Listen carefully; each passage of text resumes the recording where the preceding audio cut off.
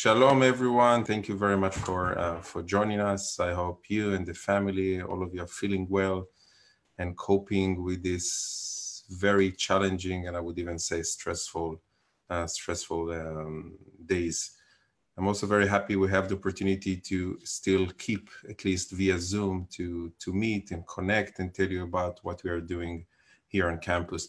So I will divide my presentation into two parts. The first part, I will tell you a bit about some of the efforts we're currently doing on campus uh, to help the fight against the corona, a worldwide fight, and also helping the country here in, in Israel in developing uh, tests for corona.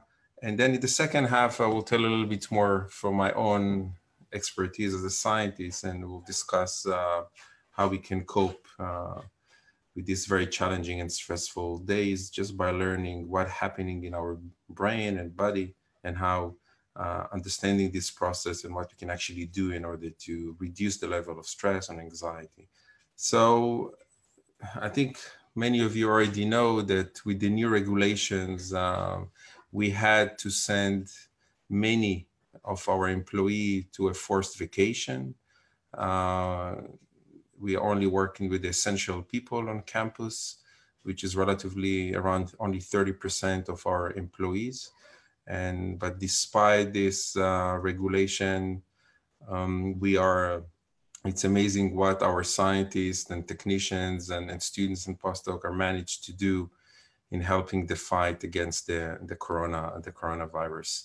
So one one of the main effort um, done in the last few weeks came after a request from uh, the Prime Minister Netanyahu to help the country to increase the number of lab tests, clinical lab tests for uh, corona. And as all of you know, we are a research institute and we have research lab. We don't have clinical lab. We don't have a certified clinical lab.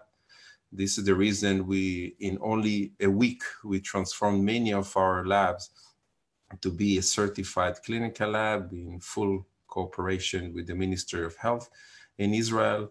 And our first big center is currently within the Nancy and Steve Grant Israel National uh, Center for Personalized Medicine, the INCPM, in which we took our uh, equipment, which is a state-of-the-art equipment, which on a daily basis is used for conducting research, and we transform these uh, equipment into two main lines that can do thousands of corona tests uh, per day.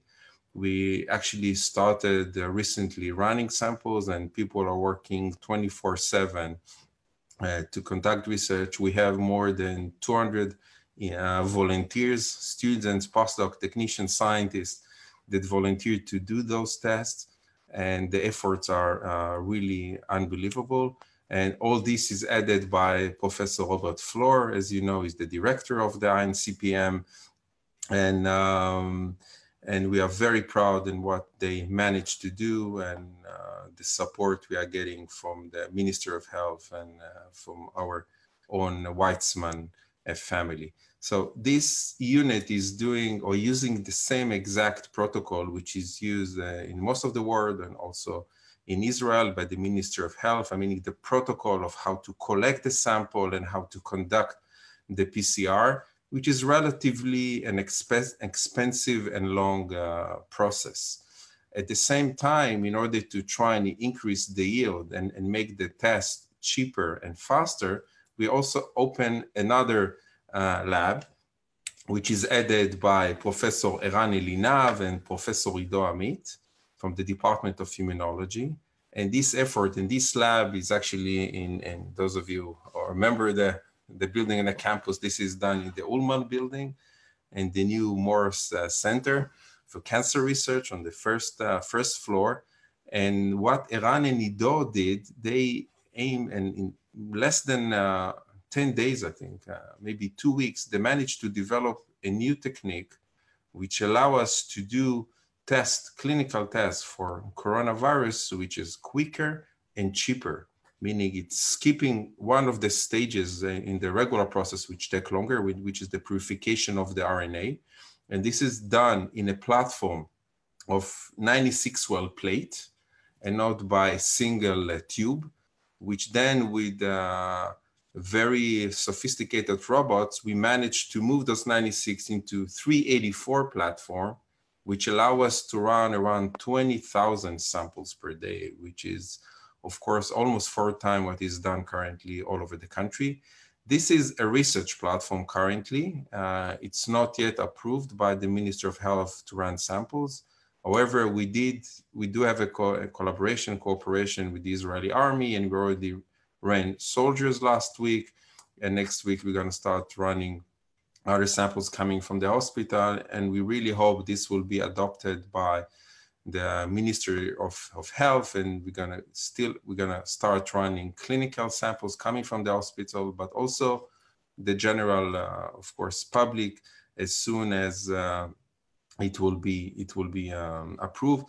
There's also a lot of interest uh, worldwide about this method, and I think starting next week, more and more people will start hearing about this, uh, not only from the Weizmann internal news, but also from the, the public and, and uh, general news. And again, also here we have so many volunteers, students and postdocs, also the equipment, um, which is uh, uh uh, this lab is equipped equipped with is being gathered from all over the campus. Different labs donated their own PCR machines and robot, and all this has been built and headed by the whole operation is headed by uh, Ziv Reich, the, the, the, vice president. So these are the two main efforts which we currently at the Weizmann are done toward tests, toward clinical tests for uh, for coronavirus. And uh, however, at the same time, in parallel, many groups, many labs, many scientists uh, started other initiatives in order to start developing new tools for preventing the, the infection or treating a, a patient developing either vaccination or small molecule. And I will tell you very, very briefly about um, only four of these of these efforts. We currently have more than 50 different uh, projects around uh, the coronavirus.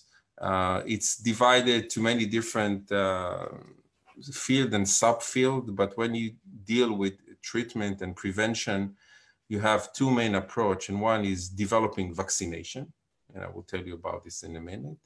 And the, and the second uh, uh, channel is to develop small molecules which will eventually prevent from the virus either to infect our cells or to proliferate uh, in, our, in, in our cells. Um, some of you attended uh, the talk in the online, the Zoom meeting with uh, Dr. Nir London or, or Ron Diskin and, and other. Uh, if not, all these uh, presentations are also uh, available online on our website. So I really encourage you to go if you want to learn more more detail that I will not be able to cover uh, here today. So Nir London from the Department of Organic Chemistry is uh, is part of a very big international project which is running with Oxford in the US and uh, sorry Oxford in the UK and of course labs in the US and also Germany. it's an open source uh, consortium in which there is the free flow of information and reagent between these groups.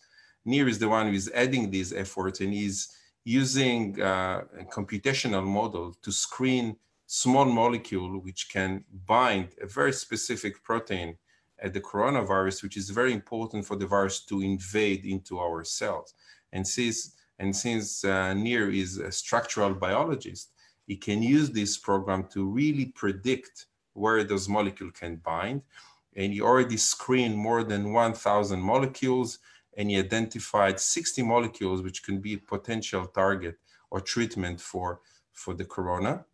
Now they, they narrowed the list into 30 and they're really working in, in making the best molecule that will be able to, to be used as a drug. This molecule has been sent to the colleagues worldwide, which are checking the, the efficiency of this molecule in, in, in treating uh, uh, the disease.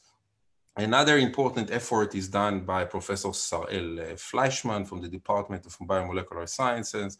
And Sarel is also using computational models. Sarel is expert in proteins. And as you know, antibodies are, are proteins.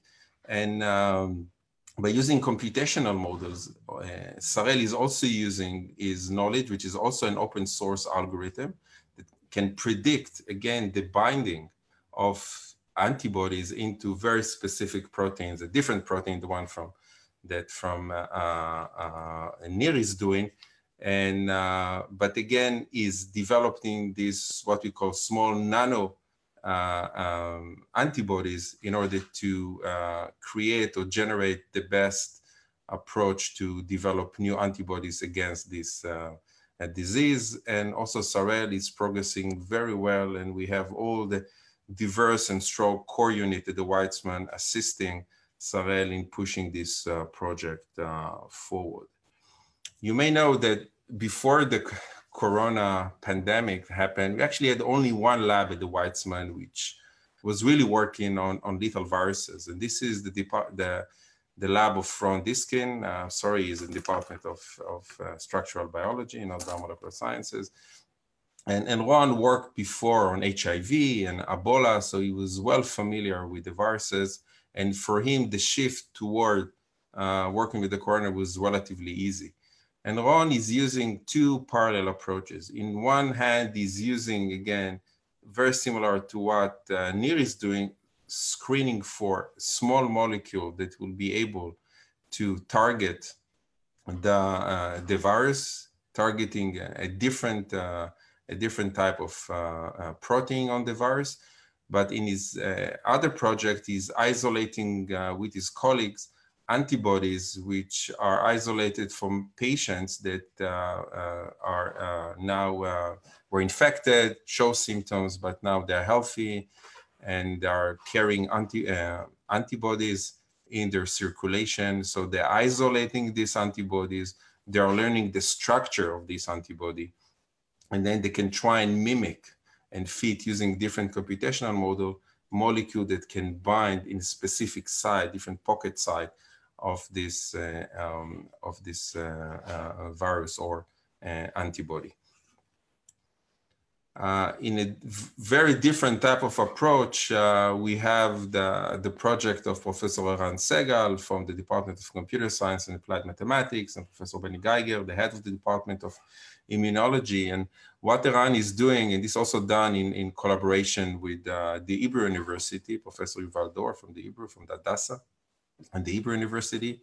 In general, it's something that is, is very uh, common during this crisis. There's so many collaborations and, and, people don't care about credit, people don't care about patent. Everything is open source and people are sharing and working really uh, day and nights in order to make a progress. What Eran uh, and, and Benny did is they developed this relatively simple questionnaire that is sent throughout using different uh, platforms, either uh, WhatsApp or Facebook or general newspapers and TV. And people fill this daily questionnaire about their symptoms, how they feel, whether they have fever, don't have fever. And by using computational model, using artificial intelligence model, Eran and Benny can really predict the spread and the, the outbreak of, of um, this pandemic within Israel, and they made amazing prediction about where is going to be the next uh, uh, jump in, in, in, in people which are infected. This, of course, allowed the authorities to focus their effort into specific uh, cities or even more specific neighborhood within uh, within the cities. We currently have in uh, around 400, 500,000 people which are filling this questionnaire on a daily basis. And we have many, many countries around the world which are currently adopting this uh, computational approach and questionnaire approach and helping them fight uh, this virus. So this is only four different type of, of projects in addition to the test I already mentioned, which are currently running the campus. And But as I mentioned, we have at least 40 more which are targeting different pathways on, on, on the virus proliferation, integration, infection, and other computational approaches about uh, the spread. Many of our scientists are currently uh, busy with what we call the exit strategy. So far, we're very busy by blocking this virus and the infection and make sure that the people are sick and get treatment.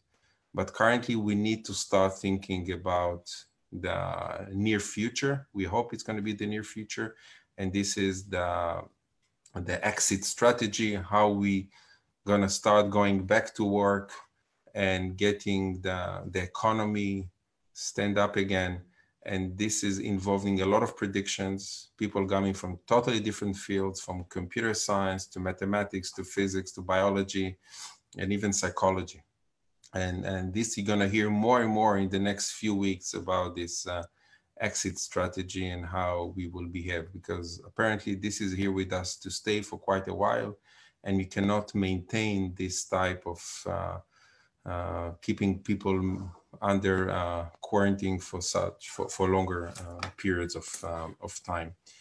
Very additional and important activities, uh, and let me move it directly into the English version, is uh, the amazing activities which are done by our uh, educational arm of the Weizmann Institute, which is the Davidson Institute. And as you know, the Davidson have many activities for kids and in Israel and many other countries, kids from different ages are stay at home. They cannot go to school, uh, which is uh, not easy for them. It's not easy for sometimes to the, for the parents. And uh, very quickly, after a few days, the Davidson team managed to have, open a site called Stuck at Home and incorporate inside many, many activities. On a regular days, as you know, our website is in Hebrew and Arabic. But uh, a week ago, even a little bit more, in a major effort, they managed to translate many of the of the activities already in English. Uh, unlike you know uh, thousands of entries every day, we have tens of thousands of entries to our website and activities, and they are now busy with translating those activities also to Spanish, which hopefully it will be online uh, uh, uh, very soon. Okay, so I, will stop here at, at uh, telling um, about the effort that the Weizmann is doing. Again, this is only a very small, very small part. Yeah, definitely use more than 15 minutes. So I will try to make the second half uh, shorter. Um, but this is, as I mentioned already, this this period is extremely challenging for us, and uh, I would say even uh, very, very stressful. And I think we are very good in assessing uh, our state, our mental state, our state of stress. If we are stressed, we know we feel it. We also are very good in assessing stress in our loved one. Yeah, we can look at our family members, our parents, our kids, our spouses, and we can feel if they're stressed or not stressed. And the big question is why? Why?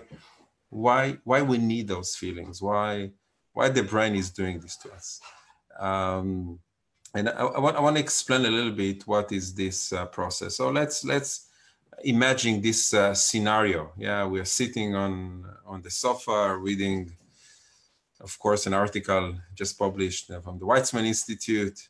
And then we get this sms a message that we have 247 new COVID-19 cases in your, in your area. Most of us will perceive this message as, as stressful. And in a millisecond after reading this message, your brain will activate what is known as the central stress response, the stress response. And most of you, all of you can describe the feelings which are associated with this activation. You're going to have a massive increase in your heart rate, in your blood pressure, in your blood glucose level. It will jump from 100 160 or 180 just by, by activating this uh, uh, response. Your respiration will, uh, will, will increase. Uh, your cortisol level, your stress hormone level will increase but not only peripherally, not only in your body, also centrally within your brain, the level of your emotions will change. You will have increase in your fear and anxiety. You're gonna have changes in your cognition, in your memory. Your, your locomotion is gonna gonna change. Some of you will freeze. Some of you will start moving faster around. Uh, you're gonna have changes in your attention, in your attention focus. You're gonna have changes in your uh, appetite So almost every major center of your brain will respond to this uh, type of uh, stressful uh, uh, stimuli. However, this is a totally normal and a healthy response. I remind you that this response is highly conserved through evolution all the way from fish to human. And the purpose of this response, it's a survival response, is to allow you to cope with the challenge. But unlike a situation in which someone just, you know, you were riding your bicycle and someone just cut you with a car on a sidewalk and uh, and this response will be activated, your heart rate and blood pressure, everything going to increase. In a minute, this stressful is not relevant anymore. The system, the brain will switch off this response and will restore homeostasis, meaning it will reduce the, uh, will switch off this activation. You bring all your systems back to the original steady state. And this is a normal and healthy response. However, during this pandemic, this the fact we are continuously exposed to more and more stress, this uncertainty, or the news we are hearing, and and and the fact we are locked in this situation for weeks and hopefully not months, putting us in this chronic level, chronic stress mode of activation. So our system is upregulated not always in the, of course, in the highest level of activation. However, this chronic exposure is, of course, putting us in uh, in a risk, and some of us do do uh, feel it in, different uh, ways.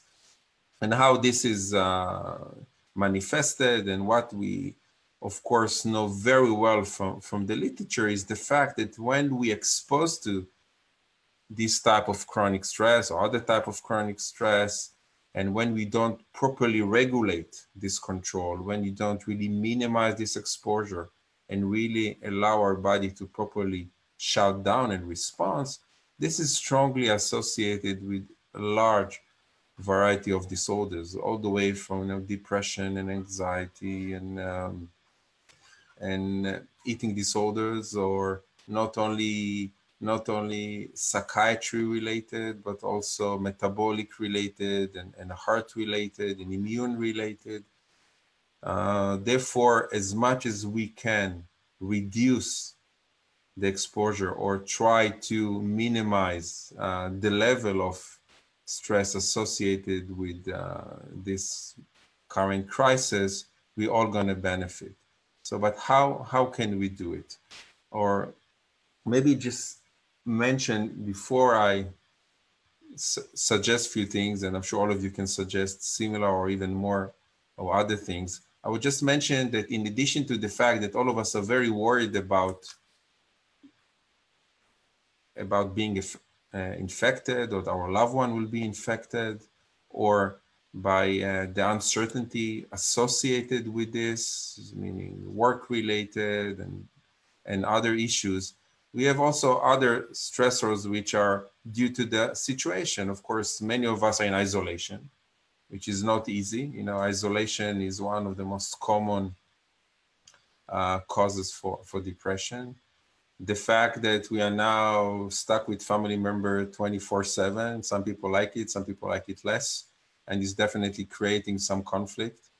I don't know why the lady here is the one which is upsetting, uh, upset, but I'm sure that it's equally distributed in the population. The fact that we are hearing news almost on a, at least in Israel, on a half an hour basis, is another source of uh, stressors and, and so on. And most of the things I would usually um, offer people to, oh, I would just mention this before because it's important. Despite everything I just said, it's really important to remember that uh, both the way we perceive those stress, this pandemic, and the way we also respond to it is extremely individual. Some people really enjoy the situation, but I would say they are the minority. Uh, some people are not getting very anxious about this and say, oh, it's fine, don't worry, I will have more time to work in my garden or do other things. But other people are extremely anxious about the situation, and it's definitely affecting. And if I, just I see from my colleagues around the world I, I in, in Israel, of course, uh, psychiatrists, I, I, can see this increased number in demand for uh, for uh, for treatment. So the usual, oh, another uh, important uh, probably difference is the difference between uh, men and women. Um, and as I'm sure you know, both the behavioral and the hormonal effect of stress is different between the sexes.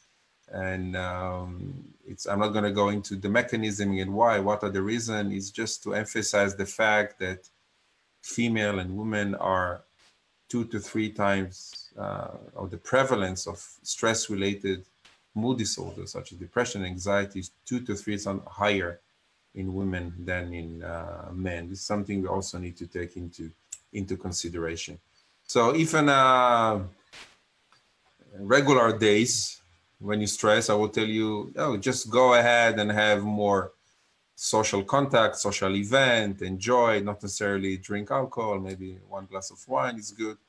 But uh, in these days that we are forced for social distancing, of course, we cannot do that. We cannot go to crowded places. We cannot go to the movie. We cannot go to the concert, the opera. And the same things, uh, we need to avoid hugs and kisses which is something that's also very comforting.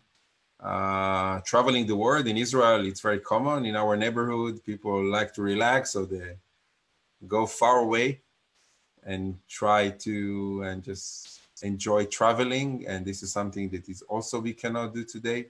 So we need to find uh, other ways and other solution to uh, to stay calm and reduce the stress level. So one way to do it is what we are doing now uh, use Zoom, use other platform in order to communicate. Uh, in few days, we're going to celebrate uh, Passover, Pesach here, and I think one of the most common uh, instruction uh, program running now in WhatsApp is how to teach your grandma and grandpa to use Zoom. Uh, and uh, this is a great way to continue uh, staying communicating with your loved one and friends this is the way the education system in Israel, uh, in high school and in university, are continuing to run, and we should use it and use it as much as uh, as much as we we can. Another way which doesn't require a lot of space, and you can always do it alone, even better doing it alone, is any type of meditation or mindfulness. You know, as a scientist, I'm always try to use methods which are scientifically valid, and there is a lot of literature about mindfulness. And uh, definitely something that is relaxing. Those of you are not familiar and didn't get training, there are different ways, different apps to try and, and do it. There's a lot of online uh, program to try and do it. I have to admit that personally, I started doing it recently, regardless of the corona and I think it's uh, fantastic. Maybe not to everyone, but those of you who find it uh, useful, I think you should uh, use it. This or any other type of uh, uh, meditation. Uh, many of us are using psychologists. Many of us doing psychotherapy, talking to someone. I know that most of psychologists, psychiatrists are continuing to work online. I know it's different and a different feeling. It's a very different feeling for me now to talk to all of you, around 500 people, and and and I don't see you. I don't, you know, I don't watch your faces, your responses. Uh, I see only myself in the screen and the slide, which is a very different. But I think you get used to it. I think I did it already four or five times, and you get used to it. And I think those of you who need it should continue doing this type of, of, of meetings and, and discussions and treatment as much as much as you can. But of course, it's a very personal. One of the things that is probably the most scientific is exercise. Unfortunately, we cannot go now and start running. In Israel, it's limited, I think, now to 50 or 100 meter. And I saw yesterday someone is running around around uh, uh, around his house. Uh, but it doesn't have to be running. You know, it could be any type of activity, even muscle activity. Everyone, he or she, according to his limit. You don't need to be an Ironman in order to benefit from this. scientifically we know this is generating increasing the number of newborn cells in your brain in areas which are extremely relevant to your mood to your cognition it's mimicking the effect of antidepressants so as much as you can do activity even within the, within your house within your apartment i think this is uh, this is uh, uh, a blessing uh, and of course any other type of activity those of you who can walk can run even if it's in a short distance, this is something uh, you should you should do. Here at the Weizmann, of course, we're lucky to have our gated campus, so we can enjoy uh, our beautiful campus and our green uh, uh, campus. And of course, all of you are good friends of the Weizmanns. Just just stay in touch. Go to our website. Go to our uh, YouTube and Facebook and Instagram and follow the activities that are uh, done here on campus is so active and is so changing on a daily basis that uh, I really recommend going every day into the website and see what what is uh, new. So I will stop here and thank you very much again for for the attention and um, and uh, let's start with uh, with the question. I'll take my phone and see if I already got something. Wow. Okay, I have many. Okay, I will start. There's a long link, link uh, list of questions. Um, what are the best possibilities and timeframes for the development of treatment of vaccine? It's a fantastic question. I know it's really, really hard to predict. I remind you that we have viruses such as HIV or Ebola that, I don't know, 30 or 40 years, we don't have vaccine yet. So although we hear almost on a daily basis, different countries, different companies, different institutions just about to develop a vaccination, it's really, really hard to predict. So there is the stage of development, which can take months if it's working, many months. But then don't forget, we need to scale it up. We need to make it accessible for the public. So I don't see, we don't see vaccination or development of vaccine as something that will come on, on, on the time frame of, of weeks. Either it will be many months or years on, on none. Um, this virus is, is changing. It's hard to, to see how is you know, the mutation and how fast it will, it will change mainly because we don't have a treatment yet. In a minute, we're going to have a treatment. We're going to force the virus to, to start. We're going to do a selection in a way. It will start uh, changing as, as soon as we're going to start treating it. So it's a lot of unknown uh, about the vaccination. What is will be very effective, and it's of course related, is isolating the antibodies, the immunoglobulins, what they call the IgG, from people who were infected, but they are now healthy. And this is a lot of effort worldwide to isolate those IgG from the blood of patient, this could be used as a treatment. Of course, it's a short-term treatment, but people which are in in uh, in in emergency care and other people could definitely benefit. So as as long as we have more people which actually cope with this, were infected and are healthy, and will donate blood, this will help isolating those uh, um, IgG, those immunoglobulins. How does uh, Professor Elinav and Amit's faster testing compared to Abbott lab 15 minute test used by President Trump yesterday in uh, ruling? Okay, I saw this also in the news two days ago. What the Abbott, uh, I think it's a similar concept, which is a sequencing based. Uh, of course, I'm not familiar exactly because it's not uh, public about the technology of Abbott and how and how they do it. Uh, I saw also the article. Uh, knowing very well what Ido and Eran are doing, this is based on a similar concept. Um, but of course, we give it uh, free of charge. We're going to share the knowledge uh, with everyone. I think most of uh, institutions worldwide, uh, unfortunately in Israel, the, the, academic research research institution like the Weizmann and other universities have better equipment than the Ministry of Health or the clinical labs of so adopting this, making similar labs like we developed here, would definitely can increase the numbers of, of tests. There's a lot of other hurdles on the way, which I'm not getting into, which is really changing the way we are currently collecting samples. Okay, the classical test, I don't know how Abbott are doing this, but the collection of the samples currently in Israel are doing with uh, with those long swabs and and and uh, in a single tube. And our protocol now is using very small swab going into your nose and going into a small well in a plate. But to the best of my understanding, the technology uh, is is very similar, but we will see in the next uh, few days. Okay, I will, I will read it again, then I will try to understand the question. I'm sleeping 50 to 60% of time, still studying mechanical engineering, but I cannot feel an atmosphere of normality, especially related to my recent uh, tiredness all the time. How should I manage myself and fix it? Also felt less appetite as well. This is definitely, you know, symptoms of could be a symptoms of stress, but could be also symptoms of uh, less activity.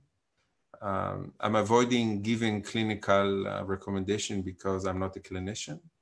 Uh, but for my common sense, and I'm sure you're going to hear uh, similar things from your doctor, is just try to increase activity, try to be more active uh, on a daily basis, doing more breaks, maybe don't go to sleep so much, even if you feel tired.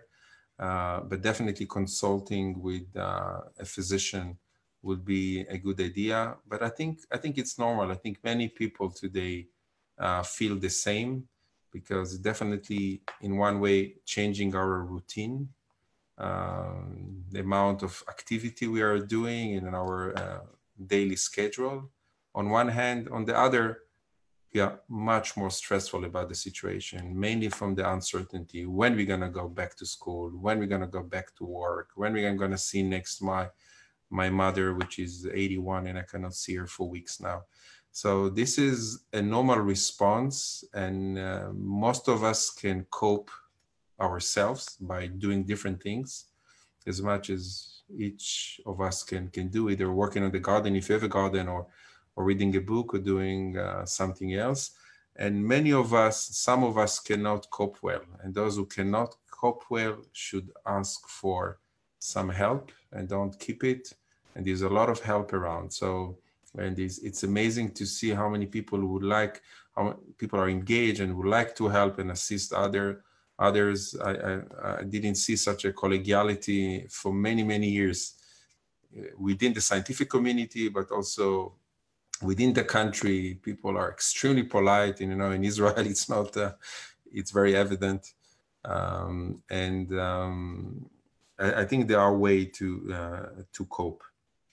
Can we, can we go in even deeper lockdown?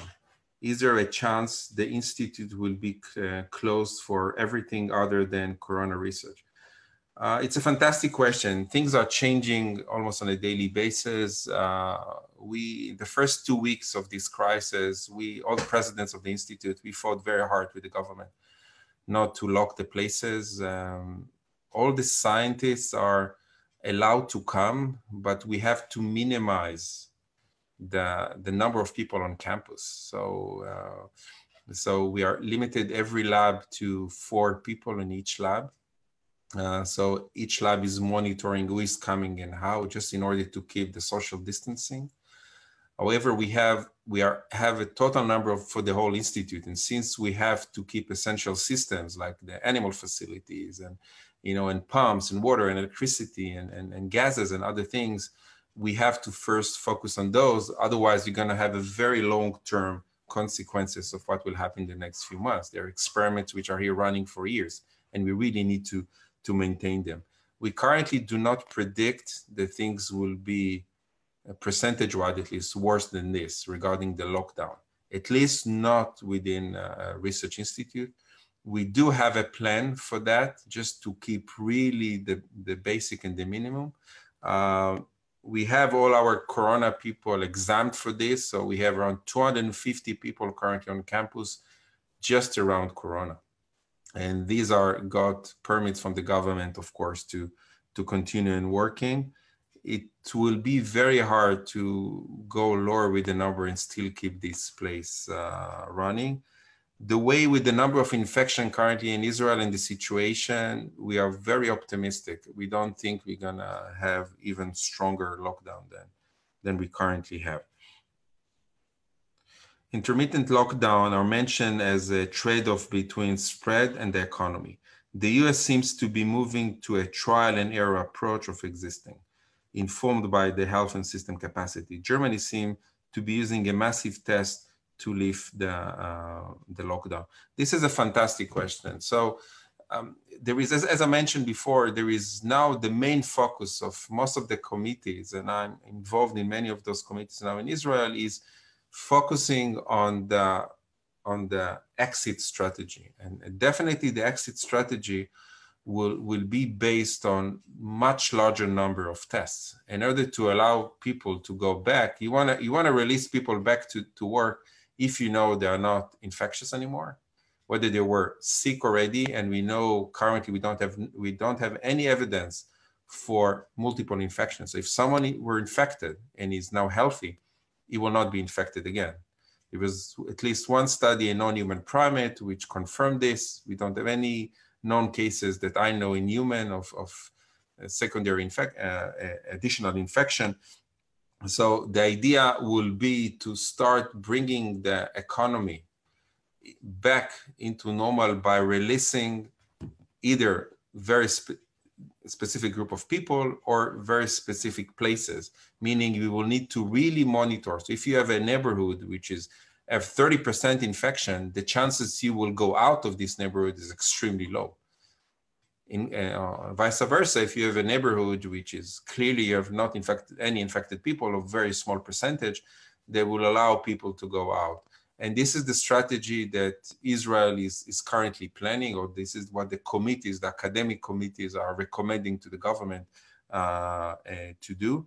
I think the US, at least what I'm following in the news, is I think around three weeks back from what we are currently doing in Israel. If you look on the mortality rate, uh, you can see that Israel is actually in the best situation. It's with Israel and then Germany and then the rest of Europe. And of course, uh, US. Uh, we can learn a lot with, with what has been done in China and South Korea and Singapore. And it was based, at least in South Korea, it was heavily based on a lot of tests and of course a lockdown. So this this formula is definitely working. Um, following the above statement, as I just mentioned, sorry, how would you go about lifting lockdown in a way that is manageable until we reach uh, herd immunity or vaccine? So this is exactly what I described. We need to do, at least in Israel, we are 8 million. We need to do uh, tens of thousands of tests every day. We need to aim to do 100,000, 200,000 every day, which I think is feasible with the new technologies. And then slowly come up with models, with mathematical models throughout the country and say, this is a clean area. They can go to work. And when they go to work, we need to make sure they are interacting only with healthy people and, and so on. I think those type of model will start being released soon into, into the public. There's many smart and good people working on developing those exit strategy model. I hope I'm going on the right because it's, it's jumping the whole time. So how long the virus active on surfaces when it is safe to touch the surface? Okay, so these few studies came out. This study already for more than three weeks ago, talking about hours to days depending on the surface okay? Whether it's a, it's a metal surface and with the metal which type of a surface and then uh, cardboard and others so it's between hours to days to many days. I even studied talking about almost two weeks 13 days on surfaces. And this is the reason the best protection currently are actually gloves. Gloves and keeping washing or using uh, alcohol gel and things that we have here. You see what i'm going with this big bucket of, of, uh, of uh, alcohol wipe that everywhere I go, when I go to the elevator, I'm using this. When I go to the bathroom, when I open door, I use this type, so any other type. So this is the best. We still need to wear masks, but I think the majority of the infections, unless someone is really sneezing on you or coughing on you, the, the, the probably the majority of infections will come from touching surfaces and then touching your face, mouth, nose and, and so on. Okay, why do women uh, have more stress than men? Can you explain the science behind it? Okay, this is beyond the corona, of course, and um, it's not having more stress, it's the way they respond uh, to stress. Of course, I'm talking here by average. If I'm measuring cortisol, the level of cortisol would be higher, and there is a again, of course, in behaviorally, there is uh, differences. And um, there, there, are two, I will not go to the, to the, I would say evolutionary reasons, okay, which we can all think about it through evolution. Of course, the, the, the, the role of women was to protect the offsprings, of course, if they are more alert, uh, and uh, are more you know searching the environment they're more alert they, they be more jumpy and they can protect more the, their pups so this is the the evolutionary uh, concept. However, we know that uh, biochemically, molecularly, cellularly, uh, testosterone is an inhibitor of the HPA axis of the hypothalamic pituitary adrenal axis, the release of, of cortisol. So it's not that in female this cortisol axis is more active, is the fact that this axis in men is inhibited. So this is one of the explanation also through development, uh, meaning estrogen, this, not only circulating estrogen, but also estrogen through development is wiring the brain in a way that the response, the behavioral response in female is different. Again, don't look on individual cases. We have a lot of female who respond much better than male if you look on the average and the whole uh, population. I hope it's, it was clear. How is the people from rural uh, Israel coping with the crisis? Can they buy groceries online or that is adding stress to their daily life? Honestly, I don't think so. I, th- I think this is one of the first cases that people living in dense cities have more stress than people who live in rural area. Uh, of course, food, we don't have any shortage, shortage in, in food and groceries. People can still go and purchase everything they need supermarkets are open. Of course, they're uh, controlling the, the access and the entrance, and people have to wear masks, and people are keeping this two meter uh, distance, and only specific number of people can go inside. I went today at 6 a.m. to avoid the lines, and I went out at 7 a.m. out of the supermarket, and it was a line which was at least one hour line because uh, everything is much slower. Uh, you can still, uh, uh, of course, order online It may take longer than usual, but I don't think we have any any issues with getting food or groceries.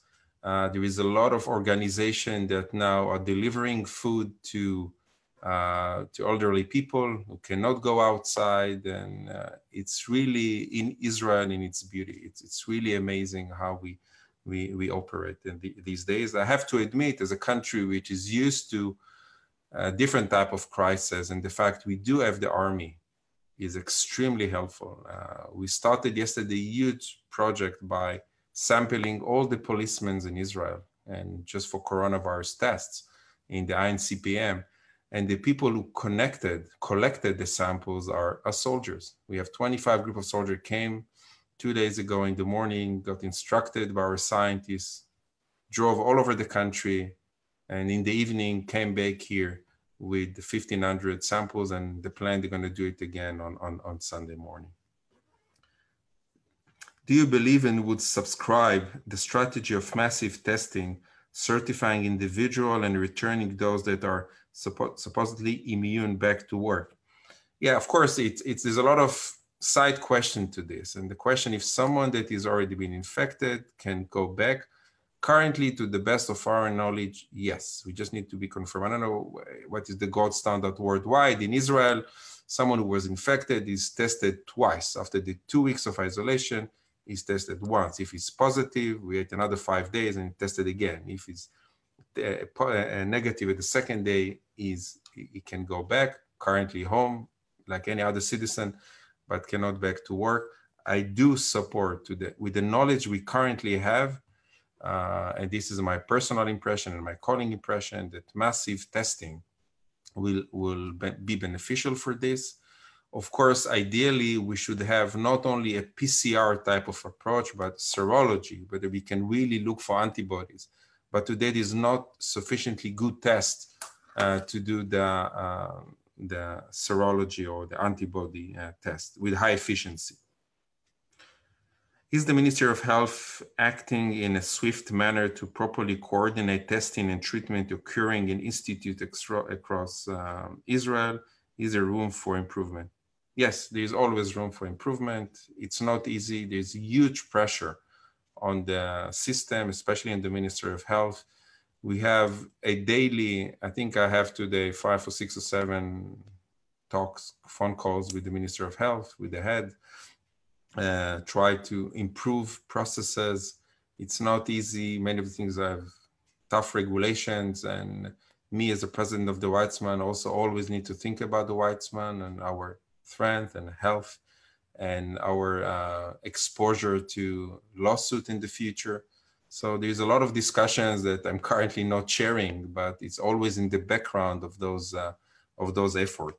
But if the question whether we can do more, yes, definitely, we can do more from the government side. I think we are maximizing our effort here within the institute.